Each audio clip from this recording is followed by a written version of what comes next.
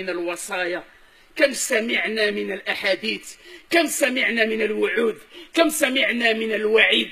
كم سمعنا من البشارة؟ كم سمعنا من النظارة؟ كم سمعنا من قصص الهلكة؟ كم سمعنا من قصص الطالحين؟ كم سمعنا من عق... من عاقبة الموحدين؟ من عاقبة المشركين؟ كم وكم وكم؟ لكن أين هي القلوب؟ أين هي القلوب التي ترتج لسماع المواعظ؟ أين هي هذه القلوب؟ ما الذي يحييها؟ ما الذي يحييها؟ ألا تسأل نفسك لماذا قسى قلبي وقلبك؟ لماذا لا تسأل نفسك؟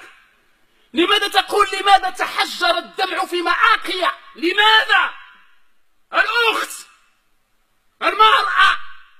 وبعضهم يبكي على حال الرجاء البيضاوي والنتائج الهزيلة التي بدأت تحققها. بعضهم يبكي على هزيمة الريال من غارمه التقليدي البارسا بأربعة صفر. يبكي ويذرف الدموع.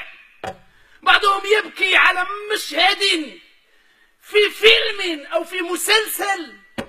يبكي ويتأثر لسيناريوهات. أهلها يجنون من ورائها الأرباح وأنت تجني الخسارة والبوار.